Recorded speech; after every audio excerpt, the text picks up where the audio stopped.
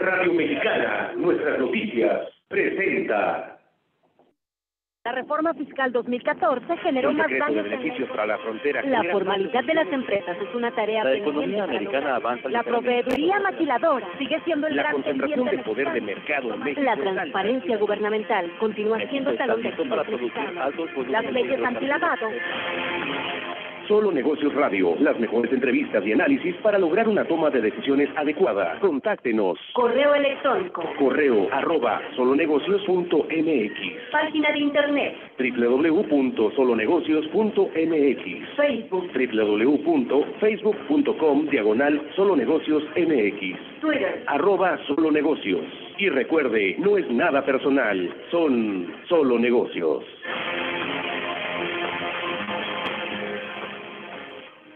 ¿Qué tal? ¿Cómo está? Mi nombre es Alejandro Sandoval, saludo con mucho gusto. Esto es Solo Negocios Radio, transmitiendo a través del 1300 amplitud modulada, al igual que por internet, en nuestras noticias Radio Mexicana 1300, que es el fanpage en Facebook de nuestra estación de radio, al igual que la de Solo Negocios en facebook.com diagonal Solo Negocios MX.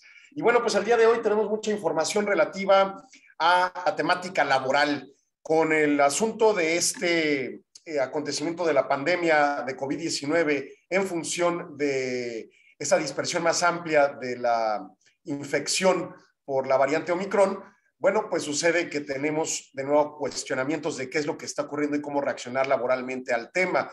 Y esto en función de que los protocolos de nueva normalidad obligados a cumplirse desde mayo de 2020, cuando empezaba la pandemia, cuando después de la primer cuarentena eh, generalizada de abril de 2020, pues empezaban a crear estos protocolos y que se fueron ajustando en el tiempo. Dentro de ello resultan una serie de cuestionamientos de cómo reaccionar al caso concreto y las implicaciones de o no reaccionar en función de la parte correspondiente de en la Ley Federal del Trabajo, la responsabilidad sobre la salud de los trabajadores en las limitantes que corresponden. Bien, así las cosas, bueno, pues vamos a platicar sobre estos temas. Eh, obviamente me voy a fundamentar mucho en los dichos y planteamientos de especialistas en la materia, como epidemiólogos reconocidos a nivel local o internacional. Vamos a hablar de la nueva normalidad y en su caso la guía de la Secretaría del Trabajo y Previsión Social y en su caso los protocolos que tendríamos que tener implementados en las empresas, a partir de los cuales se tomen determinaciones en función de cuándo ocurre una posible infección. En ese sentido, la vuelta al trabajo como un factor central de preocupación para el patrón y obviamente para el trabajador en función de sus ingresos. Y bueno, pues básicamente algunos puntos de recomendaciones y claves centrales. Y bueno, pues vamos a platicar entonces mucho normativamente, mucho en términos de derecho para la empresa y la relación laboral entre los patrones y los trabajadores, y en su caso con algunos tópicos eh, de tipo epidemiológico, del que obviamente yo no soy experto, pero que fundamentando en lo que señalan los expertos, podamos comprender cómo aplicar adecuadamente este protocolo. Más que nada, sí, por supuesto, pero más que nada para proteger nuestra salud de todos. Entonces, en esa lógica es como planteo lo que podemos platicar en esta, en esta siguiente hora, ¿no? Eh, bueno, vamos a comentar ahora sí sobre eh, el asunto de la relación laboral. Recordemos que las relaciones laborales se basan en el artículo 123 constitucional y la Ley Federal del Trabajo y todas las normatividades vinculantes a estos dos instrumentos legales. Ninguno está por encima del 123 constitucional. Ese marca la pauta generalizada. Pero en ese 123 constitucional se señala las obligaciones del patrón, dentro de las cuales se encuentran las de seguridad social y, por ende, las de salud o prevención de la salud, incluso por encima del nombre de seguridad social. En segundo lugar, tenemos la Ley Federal del Trabajo propiamente, en donde encuadra tanto eh, las obligaciones del patrón respecto a la salud de los trabajadores, las reacciones al respecto y en su caso, las, eh, incluso se reconocen las enfermedades y la encuadre que a la en la ley de seguridad social pueden convertirse en elementos de prima de riesgo que se convierte en un peso financiero para la empresa. O sea, la empresa, cuando se registra como patrón, eh, ya sea una persona física o moral, tiene que hacer una declaración de actividades, a qué se va a dedicar. Que este es un tema que también ha sido muy mal eh, contemplado y entendido por parte de la Secretaría del Trabajo para el asunto de su contratación, pero ahí no me voy a meter ahorita. Y entonces, bueno, pues se declara qué voy a hacer en este negocio y con qué instrumentos de trabajo voy a hacer. Voy a hacer comida, ok, con una estufa de gas, energía eléctrica, etcétera. Voy a hacer ah, mecánica, voy a construir casas, voy a eh, maquilar productos industriales o productos finales en un proceso industrial, voy a atender pacientes, de qué tipo, voy a asesorar clientes en materia jurídica, contable, financiera, económica, lo que usted quiera. Cualquier actividad uno la declarará en el catálogo de actividades que tiene el reglamento correspondiente de la ley del Seguro Social. En función a ello, me va a determinar una prima de riesgo en cinco niveles y de esos cinco niveles se determinará una proporción que me va a reflejar un monto financieramente eh, legible, o sea, en pesos, que tendré que pagar cada periodo de acuerdo a la seguridad social que se haya generado por los trabajadores que tenga registrados. Esa cantidad podrá moverse hacia arriba o hacia abajo dependiendo de la incidencia de riesgos que pueda traer consigo la actividad económica. Si yo, por ejemplo, tengo una actividad económica que uso maquinaria que genera y pone en riesgo la salud del trabajador o incluso su vida, seguramente mi prima de riesgo será muy alta.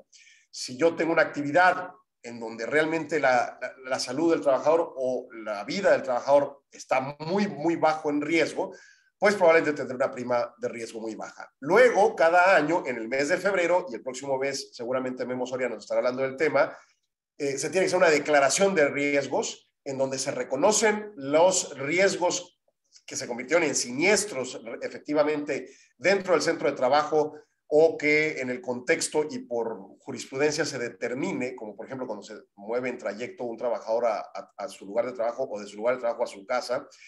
Bueno, pues en ese sentido, esa prima de riesgo puede alterarse. O sea, si el trabajador sufrió un accidente o tuvo una enfermedad de trabajo originada por, eh, pues no sé, inhalar gases que emite diferente actividad que actividad económica que realizo, probablemente me tenga una repercusión, según la evaluación que haga el médico legista eh, de, de cuando evalúan en, el nosocomio al trabajador, bueno, pues va a determinar si fue o no una enfermedad de trabajo o una condición que por la actividad laboral se haya desarrollado ese resultado en la salud o incluso en la vida del trabajador.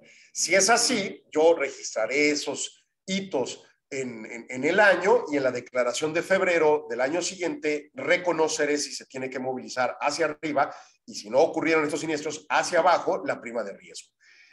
y en función a ello, disculpe, tendremos eh, el resultado de una movilización de prima de riesgo. ¿A qué viene el caso con COVID este asunto? Bueno, si a mí se me enferma un trabajador porque la vida y la pandemia es sumamente eh, volátil y en cualquier lado te puedes enfermar, bueno, pues no hay una alteración realmente al prima de riesgo. Pero si en un centro de trabajo todos los trabajadores se me enferman por descuidos y no aplicabilidad comprobable de, la, de los protocolos de nueva normalidad, señoras y señores, su prima de riesgo el próximo año se va a disparar. Punto. No hay más. Y entonces, en ese sentido es como quiero llevar la plática. Voy a hablar del protocolo y de los elementos extraordinarios a partir de los comentarios de los epidemiólogos de los avances que se han tenido con respecto a la pandemia. Digo, ya tenemos dos años de conocimientos de este, de este virus y de entender cómo se moviliza y de que estas variantes cómo reaccionan o cómo son más o menos incidentes en qué parámetro, y en función a ello los protocolos los podemos ajustar a los, al respecto. Para uno, evitar que nos pase esa desgracia de que todos los enfermos, eh, eh, empleados se nos enfermen en el centro de trabajo y mañana tenga un problema de, de, prima de riesgo, pero también por otro lado, hay otro tema más, más importante que la prima de riesgo, el asunto circundante a la productividad. Un trabajador que yo tengo contratado no es una persona a la que le hice el favor para tenerlo ahí. Yo digo, puede haber empresas que tengan esa capacidad. sería absurdo, sería contra natura. Una empresa contrata a trabajadores porque los necesita.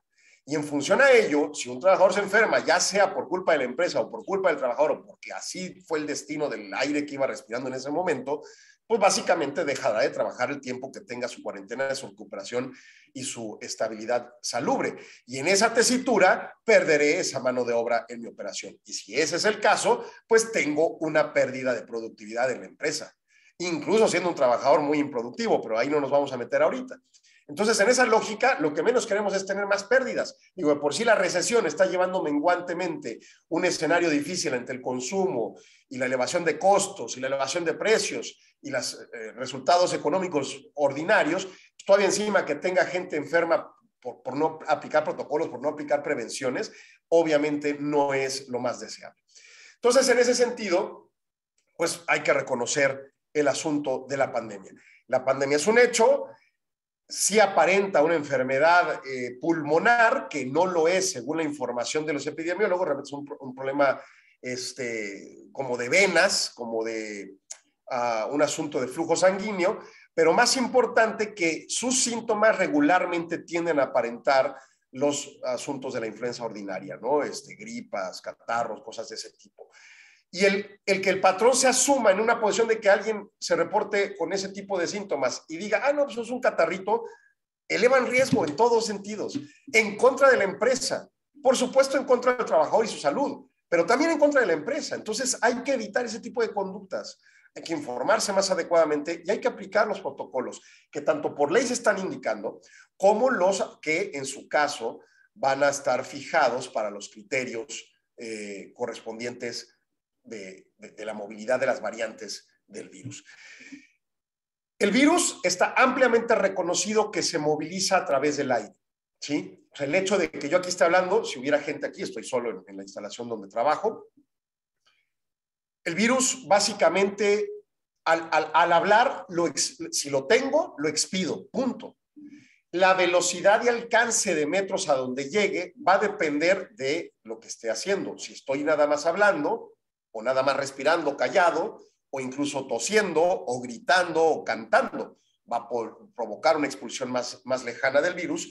Y también tiene mucho que ver el asunto no solo de la saliva que expedimos cuando hablamos, que puede ser micro o, en algunos casos puede ser muy amplia, sino de las micropartículas que emitimos al hablar. O sea, usted habla, ponga su mano así y sentirá un impacto de viento, del, del viento que sale con su, con su habla.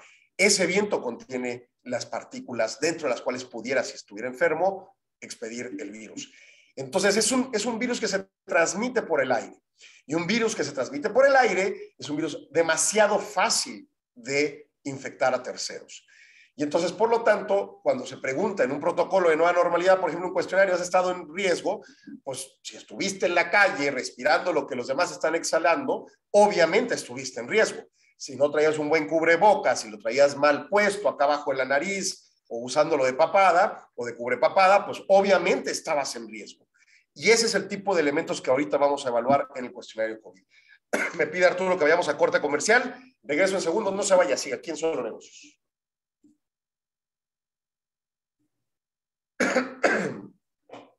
y sí, yo ando con catarrito y encerrado, ¿no? Pero bueno, el punto este, al que tenemos que acudir es empezar a ver el asunto de los protocolos de nueva normalidad. Y esto no tendrá una alternativa real, más allá de simple y sencillamente comprobar si los estamos cumpliendo en la empresa o no y qué tanto los tenemos que modificar ante los acontecimientos que ocurran.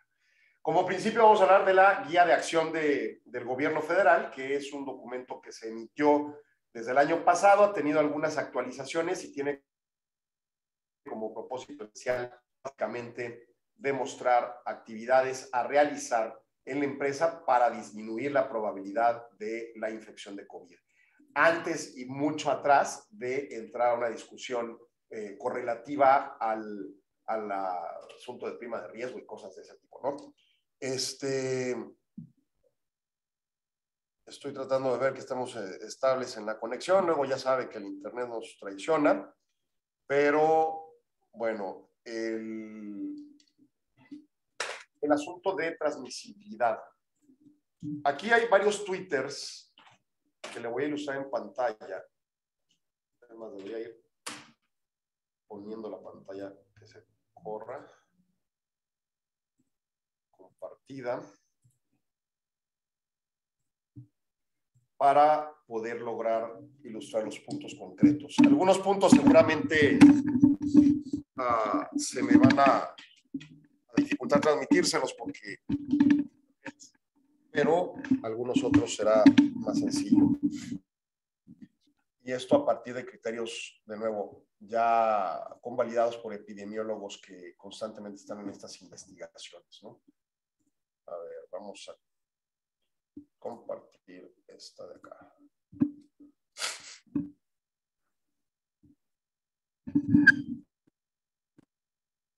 Gato y otro el garabato con la comunicación con Arturo, pero este, bueno, aquí está uno de los puntos que quiero tratar. Sí, ahí está ya transmitiéndose. Y en segundos entramos.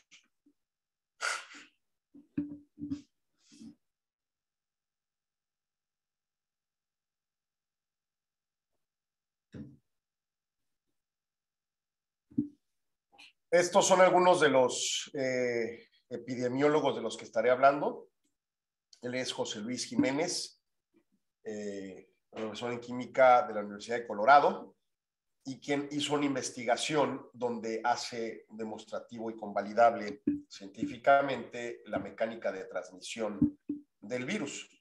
Y entonces, pues es una eh, dispersión o superdispersión explicada por la transmisión aérea, ¿no? Básicamente lo que plantea y hace estimaciones, incluso por Omicron y otras enfermedades, eh, sobre lo que puede implicar la, la, transmisión. Estamos regresando al aire aquí en Solo Negocio Radio y les comento acerca de lo que estoy transmitiendo en pantalla.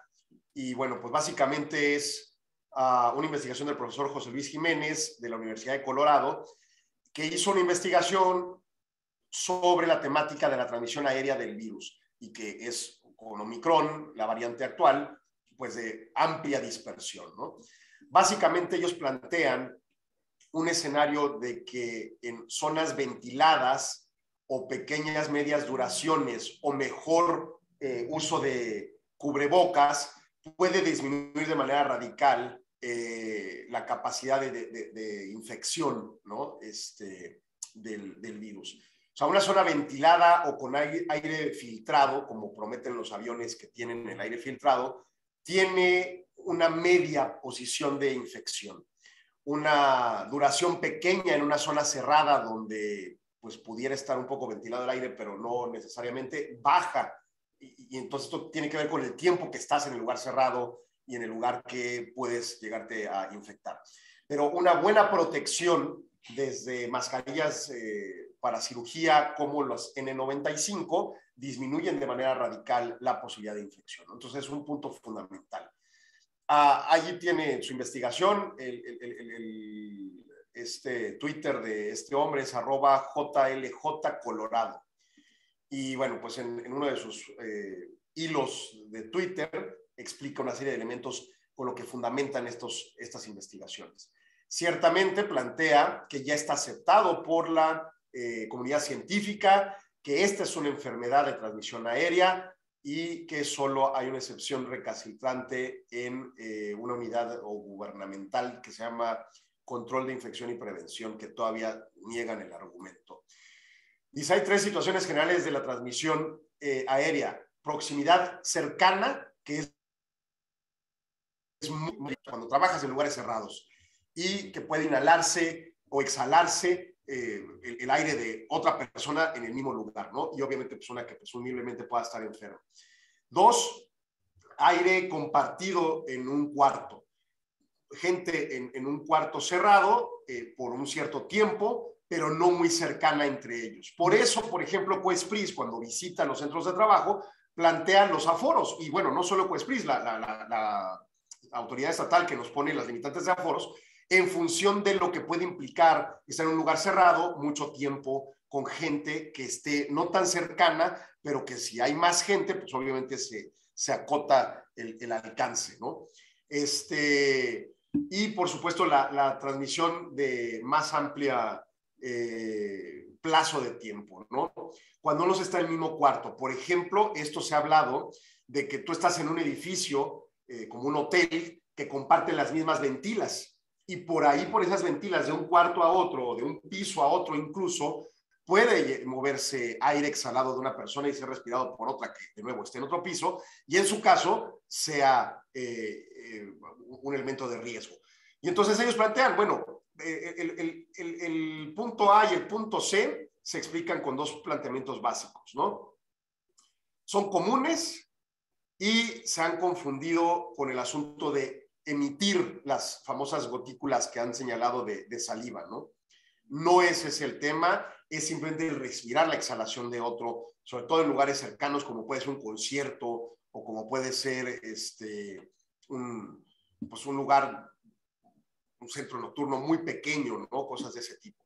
Y las de transmisión de largo plazo, que traen consigo la problemática de las ventilas y que, digo, tú puedes llegar a tu cuarto hotel y quitarte el cubrebocas y sucede que estás respirando el aire que viene de la ventila de cualquier otro cuarto del, del hotel y, traes ahí un problema. Departamentos en edificio, mismo tema que puede pasar, ¿no? Y entonces ahí hay elementos a contemplar para disminuir probabilidades.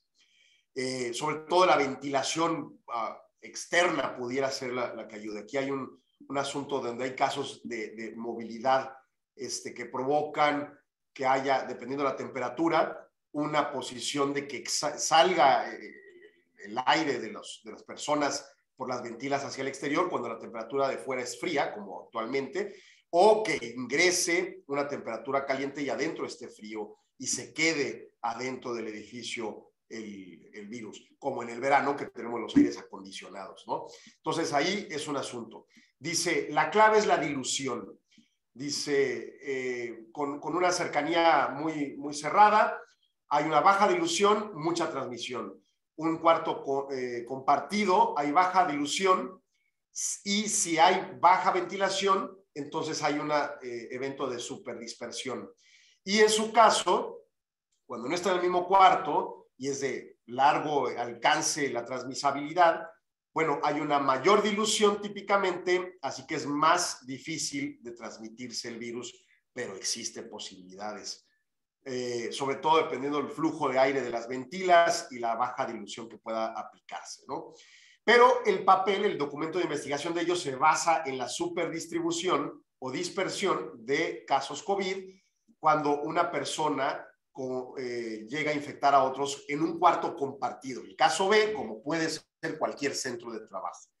Y sabemos, las superdispersiones tienen de 5 a 20% de resultados de infección y hasta 80-90% de nuevos casos. Entonces, hay un tema delicado en el asunto porque es ampliamente algo que puede ocurrir.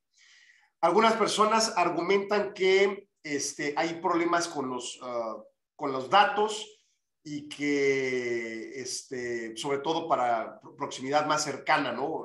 Lugares muy cerrados o, y, muy pequeños, o este, y, y, que él justifica para el caso de los cuartos compartidos como los centros de trabajo, no es tan importante. Pero el argumento circular dice, solo hay eh, rastreo de información eh, para lugares muy cerrados en más de 15 minutos. Dice, como una persona borracha, nada más buscando las llaves donde está la luz y no, donde no está la luz, ¿no? O sea, es, es, un tema de que la investigación puede tener limitantes cuando es de cuartos cerrados. Este no es, de, cuartos cerrados pequeños. Este no es el caso pro, propiamente, ¿no? Bueno, el punto es que eh, se tienen investigaciones sobre un eh, avión, sobre una planta de carne alemana, sobre una escuela en Israel, sobre un camión en China y algunos otros. Y analizan todas las dispersiones y pues, provoca, super, super dispersiones del, del, virus que provocaron obviamente enfermedad a la mayoría de estas personas que estaban en esos lugares, con el modelo propiamente de transmisión aérea en un cuarto compartido, no necesariamente pequeño. Y bueno, pues usan ahí los elementos de este, cuánticos correspondientes y cómo operan los mecanismos de dispersión. Pero básicamente llega a conclusiones particulares y estoy acercándome a ello. Pero en concreto va a hablar del uso de las, de las mascarillas, ¿no? de los cubrebocas. Mantener el, este, el eh, uso de mascarillas va a disminuir radicalmente la posibilidad de una infección en cuartos cerrados, mismos centros de trabajo, y en su caso el punto concreto de este, algo de ventilación, por supuesto, al centro de trabajo y la calidad de la mascarilla que tiene que ser N95, ¿no? Aquí tiene una gráfica que usaron para la transmisión y los cálculos, por ejemplo, cuando alguien está corto tiempo en un lugar eh, de baja ocupación, dice, adentro de un, lugar, o sea, en, un lugar cerrado, si están silenciosos, la oportunidad de infección es de 0.026%. Si están hablando, de 0.13%, si están gritando, cantando, 0.78%, y si es un ejercicio fuerte como de gimnasio, es 1.8%. Si el lugar es exterior ventilado o muy bien ventilado en interior, si estás en silencio es negativo incluso, ¿no? Si estás hablando es 0.002%. Si estás gritando, cantando, 0.009%, y si estás haciendo ejercicio, 0.022%, incluso más bajo que el de silencio en lugares cerrados. Y esto es por corto tiempo. Cuando es un tiempo prolongado, viene el segundo gráfico. Y, y, de nuevo, en, en, baja ocupación el cuarto, el centro de trabajo, ¿no? Aforos, tema de aforos. Y entonces aquí tenemos lugar silencioso, perdón, estadio silencioso, estadio hablando, estadio gritando, cantando, estadio de mucho ejercicio, y van alterándose, ¿no? Bueno, vayamos a una idea normal de un aforo limitado como el que tenemos en, estas, en este mes con, con los protocolos del semáforo naranja del estado de Chihuahua. Un lugar de baja ocupación, presuntamente por los aforos limitados, tendrían que traer los cubrebocas en tiempos prolongados pues tendrías una oportunidad de que en silencio la gente se va a enfermar en un lugar bien ventilado en 0.003% y hasta 0.26% en un lugar interno y bien ventilado. Eh, voy, dame un segundito, Arturo. Si nos vamos a un lugar donde la gente esté hablando, 0.016% en lugar abierto, 1. válgame, están bien rojas estos rojos. 1. como 1% este, en lugar eh, interno y bien ventilado. Ya no le voy a tratar los lugares mal ventilados, tenemos que trabajar en la ventilación. Gritando, cantando y haciendo ejercicio. Bueno, la cuestión es trabajando, ¿no? La gente no debe estar gritando su trabajo, menos que sean cantantes. Cuando está altamente ocupado el aforo, suben los rangos hasta 4.5% cuando la gente habla. Entonces, es un tema bien delicado, pero que tenemos que trabajar con nuestros trabajadores. Disminuir, sobre todo si no es necesario, el estar hablando y traer los cubrebocas, porque de cualquier manera suben las tasas de, de, infección, pero se pueden contener en cierta medida con ciertos alcances lógicos. Bueno, ellos trabajaron en, esta, en estas tablas y luego evolucionan a una tabla más, más eh, gráficamente agradable, pero bueno, pues esta es yo creo que la mejorcita que pudo, ¿no? Este, que puedo encontrar ahorita a la mano. Tengo que hacer corte comercial, eh, regreso en segundo, sigo aquí en redes sociales, no se vayan. Pero bueno, aquí está una clave central.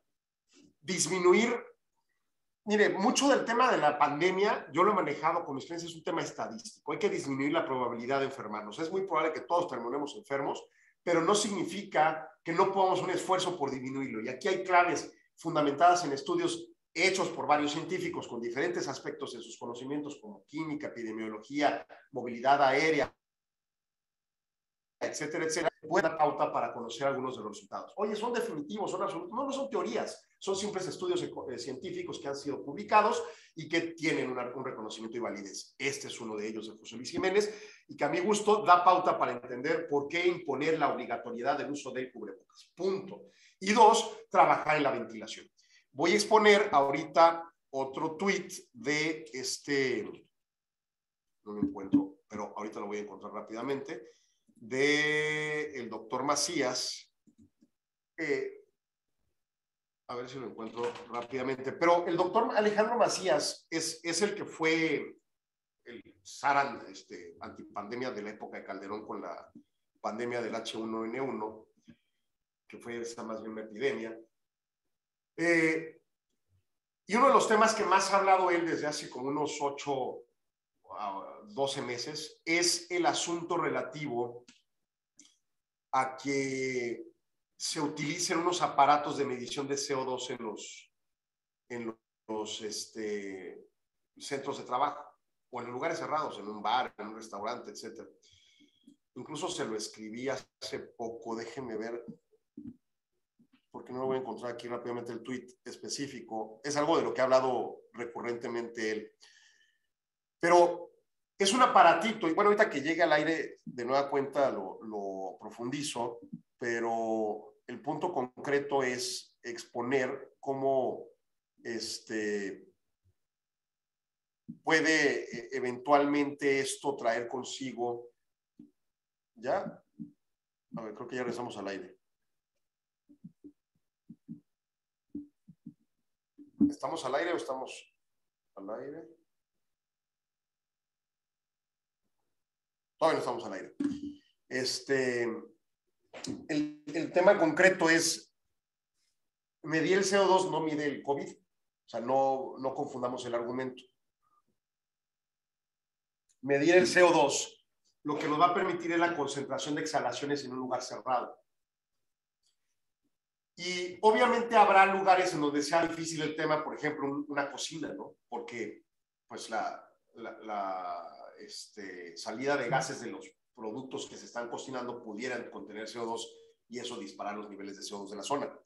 Pero en concreto tiene una lógica de que dadas estas estadísticas como las que expone el doctor Jiménez, por su lado, el estar midiendo el CO2 nos permite saber si el lugar está demasiado concentrado o requiere mayor ventilación. Y ese es un punto clave. Este, entonces, bueno, pues aquí está el de, el de Alejandro Macías, uh, el Twitter. Y bueno, es que tiene mucha información. Todos estos doctores están constantemente mandando la información y se me perdió ese tweet en donde hablaba propiamente del asunto de del, del asunto relativo al, al uso del aparato este. Pero digo, yo le pregunté personalmente y me contestó, es un aparato que mide el CO2, eh, capnómetro, capnómetro, y ese pues nos permite, ah, vamos a buscarlo, capnómetro, eh, medir ¿no? esa incidencia. Es un aparato chiquito, cuesta entre mil y cinco mil pesos dependiendo la calidad y demás. Y pues este da pauta para poder medir el CO2. ¿no? Ahorita lo reiteramos, creo que ya vamos a regresar al aire. A ver, Artur, confírmame si estamos al aire. Todavía nada. Otra de las cosas es este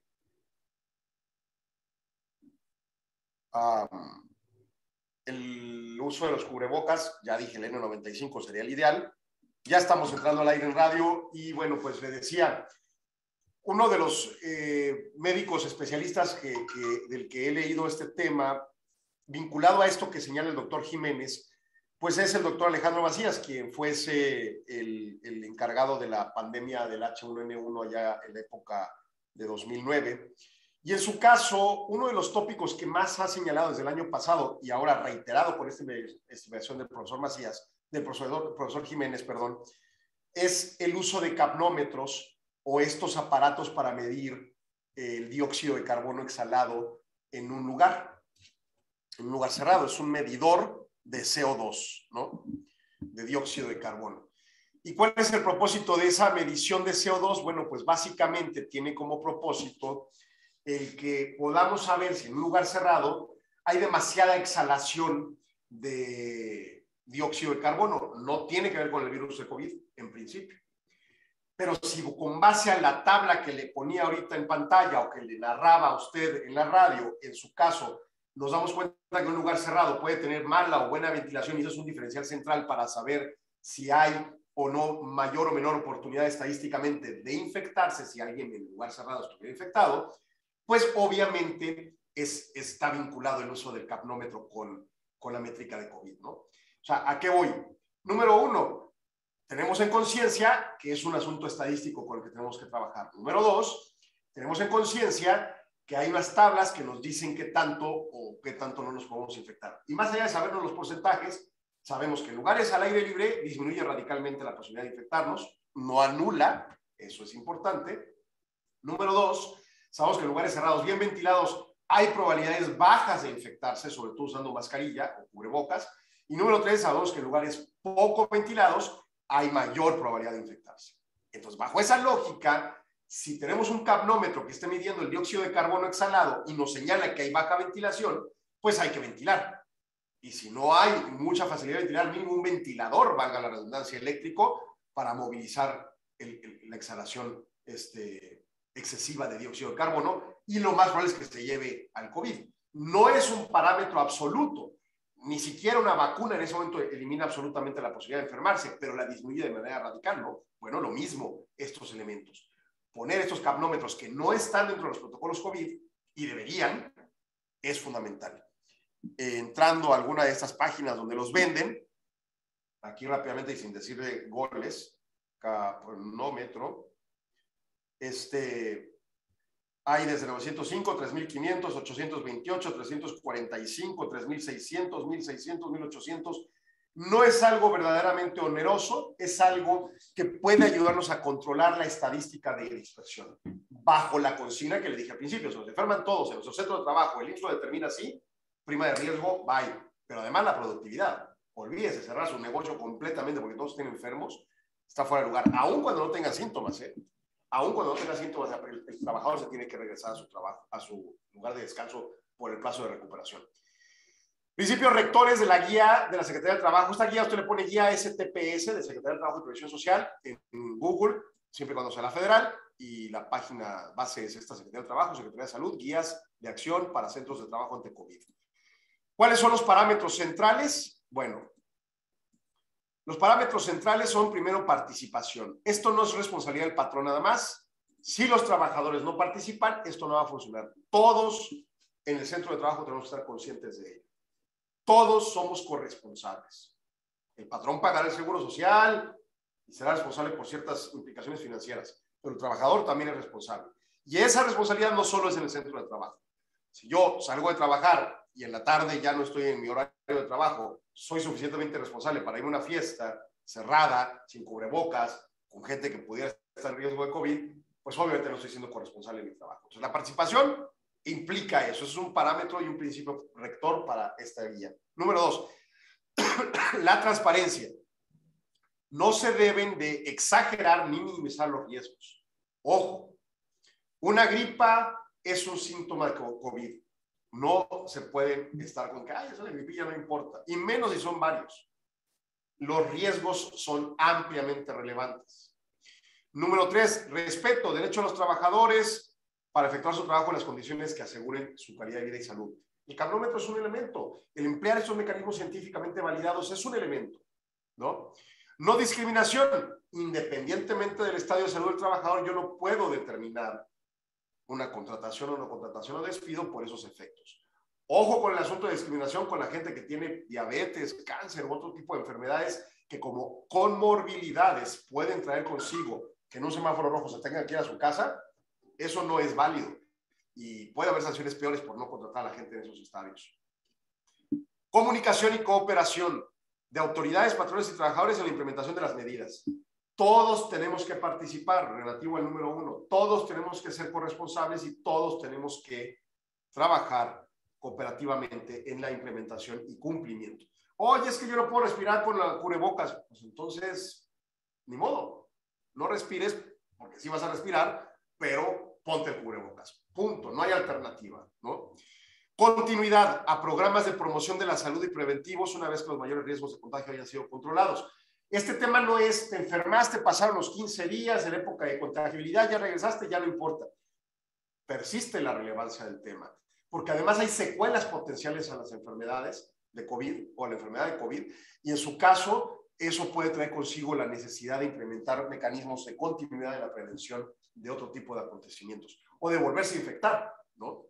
Y comprensión de los empleadores y trabajadores en los procesos, ritmos y cargas de trabajo en los que se van a poder verse afectados lo que puede comprometer la productividad del centro de trabajo. Y también aquí tiene que requerirse maquiladora específicamente, pues la comprensión también de las entregas. Si tú tienes un proveedor que tiene un conflicto con COVID, pues no esperes que te entreguen a tiempo las cosas. Y obviamente puede haber sanciones y conflictos, pero también eso podrá estar pasando contigo para con tu cliente maquila o para con tu cliente y su cliente, fábrica, comercio o lo que seas. Entonces, tenemos que trabajar en esos principios rectores porque además están impuestos normativamente, ¿no?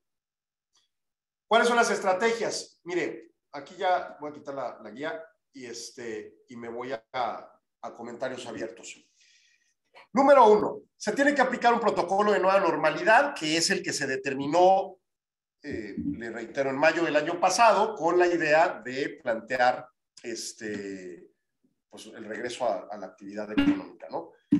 Tiene que haber un cuestionario de ingreso diario y de salida de los trabajadores, revisando temperatura, revisando una serie de preguntas como si has estado en riesgo con COVID, si tienes síntomas de dolor de cabeza, resfriado, este, no sé, escalofríos, los que correspondan, ¿no? En, los protocolos.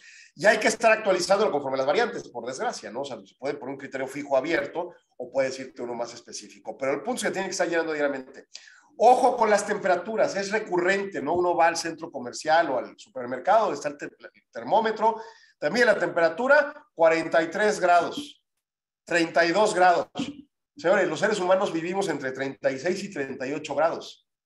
Una persona que tiene consistentemente una temperatura de 43 está muerto y ardiendo en llamas. Una persona que tiene una temperatura de 32 grados está muerto literalmente.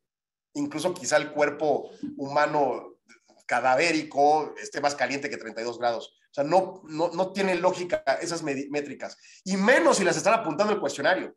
Si usted está dejando patente que una persona pasó y le pusieron en, el centro de trabajo y le pusieron el termómetro y sacó 32 grados, usted está dejando patente una falsedad o un, error grande que puede convertirse en una sanción a la hora de que Cuespris llegue y le pida los protocolos de nueva normalidad y lo revise. Ojo, tiene que tener temperaturas sensatas. Y una temperatura arriba de 37.5 es una temperatura potencial para tener fiebre y por lo tanto es un síntoma para casa, o sea, de potencial COVID. Eh, dos, yo recomiendo que se hagan unas adendas laborales o una adenda al reglamento interior de trabajo o alguna adenda especial masiva de todos los trabajadores en donde se determinen las reglas de A, la obligatoriedad del trabajador de declarar eh, el, cuestionario diariamente su situación. B, este, ¿qué pasa si el trabajador tiene los síntomas y tiene que ser devuelto? Hay empresas que tienen la capacidad financiera para comprar pruebas de antígeno y estarlas aplicando recurrentemente. Es algo que en el tiempo se convierte en algo muy oneroso, pero al final del día permite eh, tener un control un poco más eh, particular. Las pruebas de antígeno no garantizan que yo me la haga y, traiga anticuerpos y en ese momento ya traiga el virus adentro, porque me infecté en el transporte llegando al trabajo o yo qué sé. Entonces es un tema completo, concretamente muy este, Ah, limitado, pero pues bueno, que da pauta, ¿no? Entonces yo aplico estos cuestionarios, ese termómetro, puedo aplicar el oxímetro también como un elemento extra, ver los síntomas visuales y de esa, si hay sospecha o confirmación del virus, se tiene que enviar a la casa. Y ahí voy a corte, porque me manda Arturo a corte, voy a quedarme aquí en redes redondeando estos puntos y regresamos para llegar a los puntos concretos de reacción ante el protocolo. No se vaya, siga el solo negocios. Bueno, este... El protocolo tiene que ser escrito. Tiene que tener eh, fe de quién entró al lugar de trabajo. Ese protocolo no es exclusivo para los trabajadores. Si, en mi lugar de trabajo vienen clientes, tienen que registrarse. Si en lugar de trabajo vienen proveedores, tienen que registrarse. Si vienen autoridades, tienen que registrarse. Si van a entrar al centro de trabajo. Entonces, son tópicos relevantes a contemplar. Número dos, si alguien resulta con potenciales síntomas, no puede entrar. Oye, es que es el cliente que viene a cerrar el contrato. No te arriesgues a que se convierta en un problema y tu contrato firmado no sirva para nada. Salte a firmarlo afuera, en lugares externos, cubrebocas, bla, bla, bla, puede funcionar. Obviamente hay cosas que contemplar, ¿verdad? Oye, la persona viene en silla de ruedas, este, requieren de un apoyo audiovisual para ver una presentación, yo qué sé, pero en la medida de las posibilidades, evitar que alguien con síntomas o con eh, irrupción contra el cuestionario del protocolo de nueva normalidad, pues accede al centro de trabajo, ¿no?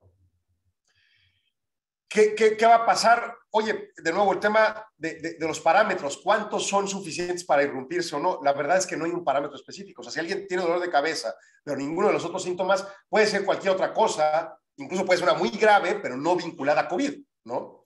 Si alguien trae fiebre, pero ningún otro síntoma, teóricamente no debería haber un problema, pero la fiebre es uno de los parámetros centrales para COVID, entonces sabes que normalmente se le regresa. Entonces, es un asunto más relativo a, eh, diría yo, conciencia de lo que es el, tema. Y para eso, en la página de INS y de COVID-19, Gobierno MX, eh, se tienen este, pues, cursos precisamente para sensibilizarse de esto. Estamos regresando al aire aquí en Solo Negocio Radio y entonces hablamos de, protocolo y todos estos tópicos. Y, les decía nada más para cerrar el punto, ¿qué implica la violación? Bueno, que, que en el protocolo venga un dato de un síntoma activo.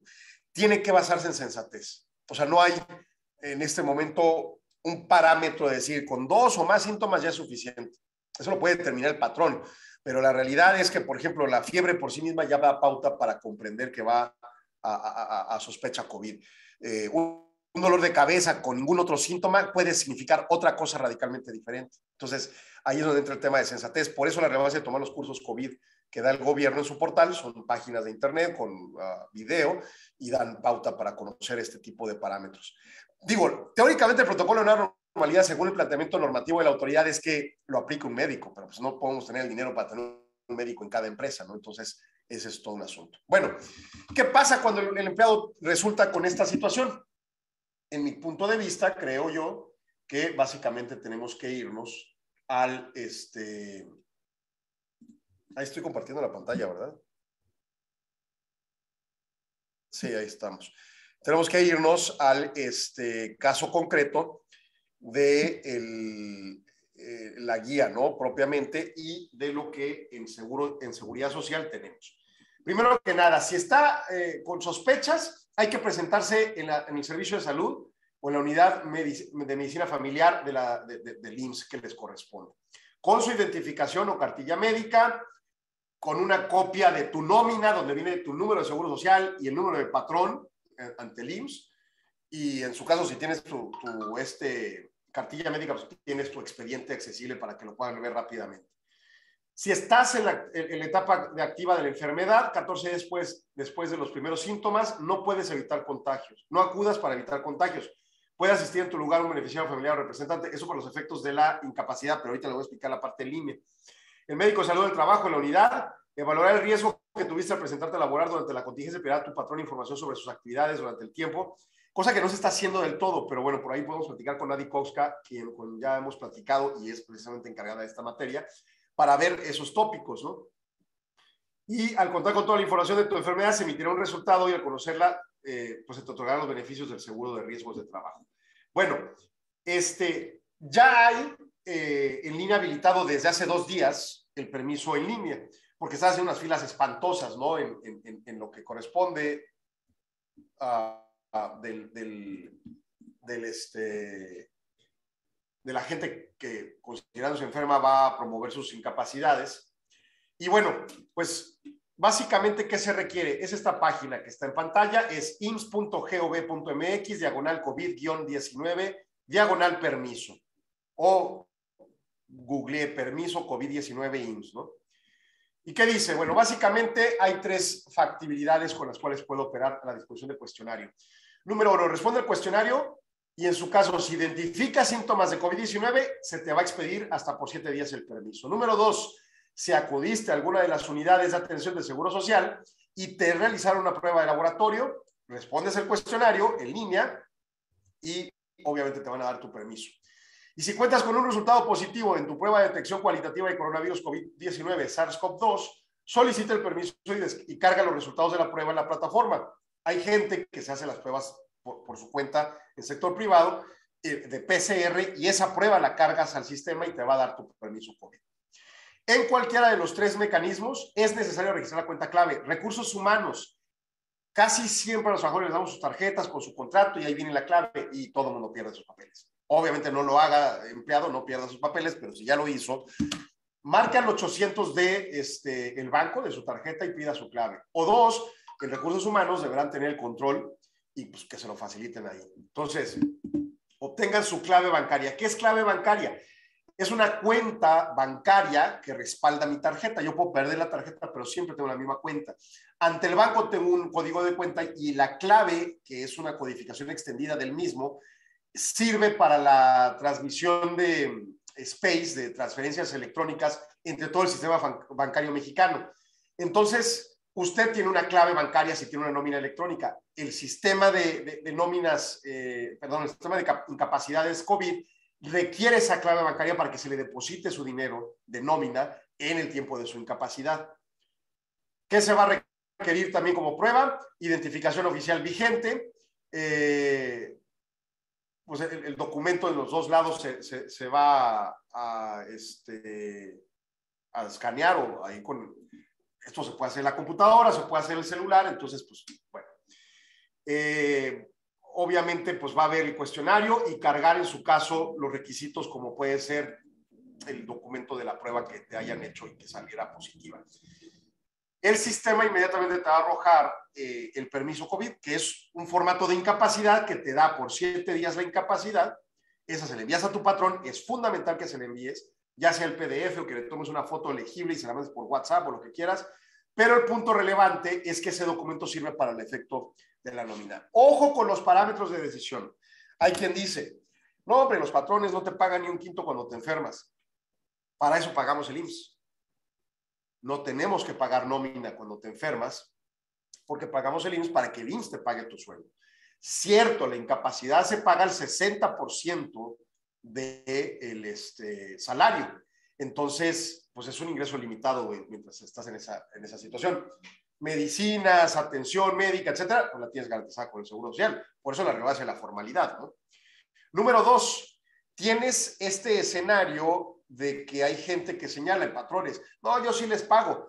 Aguas con esos pagos de salarios a personas que no están acudiendo a trabajar y que por lo tanto no registran asistencia por dos temas. Uno, no solo es el peso de salario que le pagas, es el seguro social porque por cada peso registrado de salario efectivo te cuesta un tanto relativo cercano entre 40 y 50 centavos más de seguridad social por ese peso pagado. Pero olvídense de eso, supongo que dices, no hay problema, yo le quiero pagar. De acuerdo. El problema que se llega a suscitar es que si tú tienes una revisión de seguridad social del IMSS o del Infonavit a tus listas de asistencia y a tus nóminas y tú pagaste a una persona en incapacidad puedes traer consigo sanciones en contra de la empresa.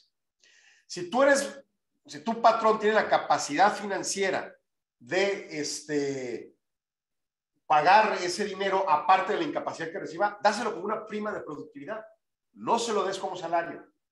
Es un tema complicado y es un tema administrativamente que requiere cálculos y demás para poder hacer las observaciones correspondientes, pero no lo des como salario. Si el trabajador saca su incapacidad, no debe de recibir salario porque si no van a tener un conflicto relativo a sanciones tipo de fraude o cosas de esas que ya saben, las autoridades recaudatorias están terribles en ello.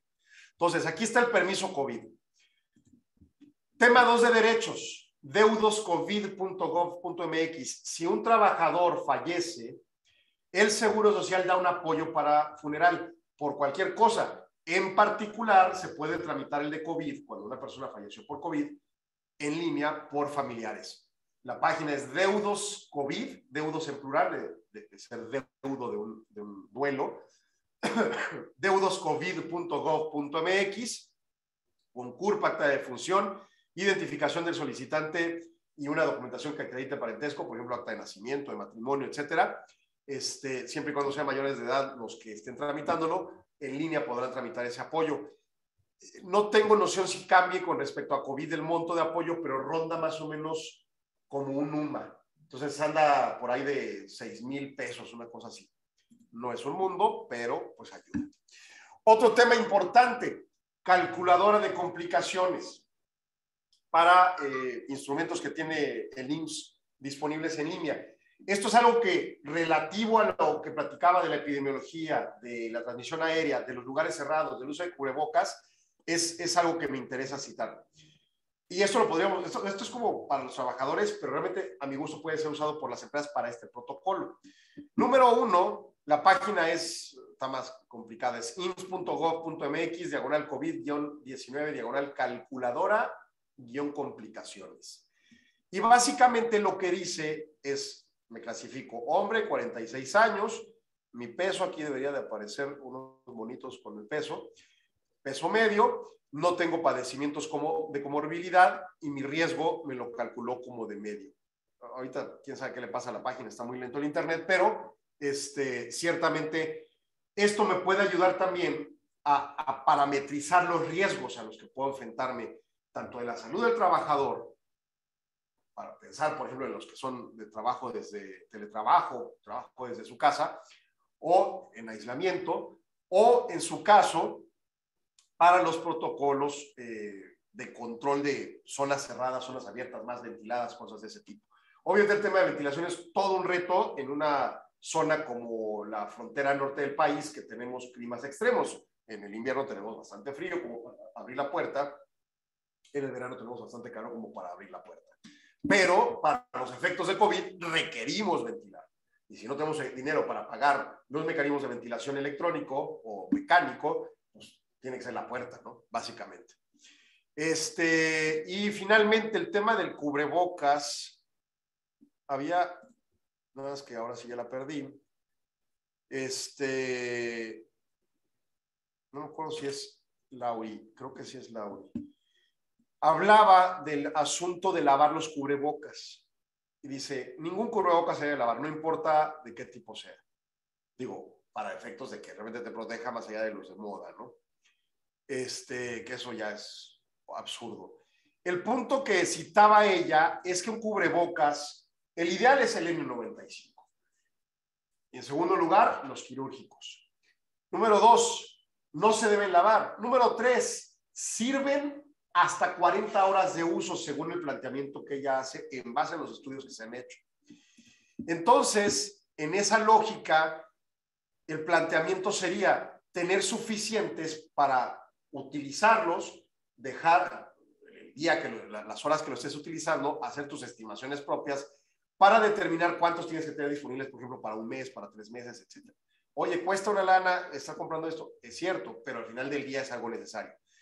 Teóricamente, también dentro de los EPPs, que son los equipos de prevención en el protocolo de nueva normalidad establecido por este, el gobierno, eh, pues sucede que ah, trae consigo la obligatoriedad para el patrón de, de pagar estos EPPs, ¿no? estos eh, instrumentos, pero pues no todo el mundo tiene esa capacidad. Entonces, eh, sea cual sea el escenario, estar cambiando los cubrebocas es algo relevante porque pierden efectividad, aunque sea N95 de la mayor calidad, de la mejor marca, lo que usted quiera, puede traer consigo temas sensibles relativos al, a lo correspondiente. Y bueno, pues finalmente, ¿cómo vuelve un trabajador al trabajo? Prueba negativa PCR, el plazo completo de eh, la enfermedad, que normalmente son 15 días. Oye, nomás me está dando 7 días de incapacidad del gobierno.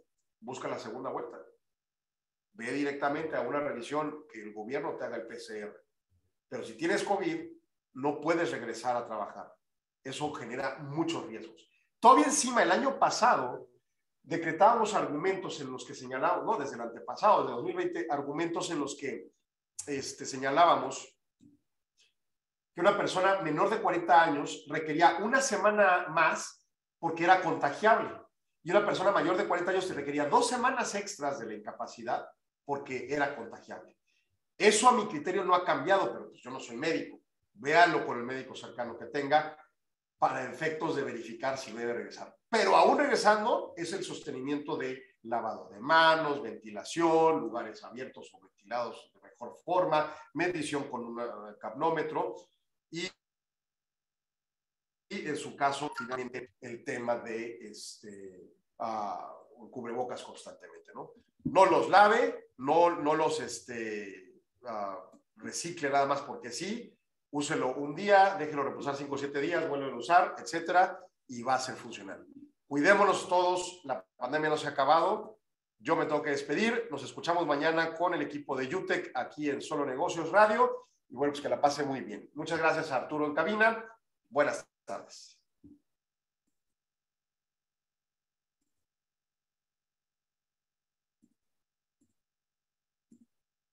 agradecemos Nos escuchamos de lunes a viernes de 4 a través de Radio Mexicana y los AM. Contáctenos.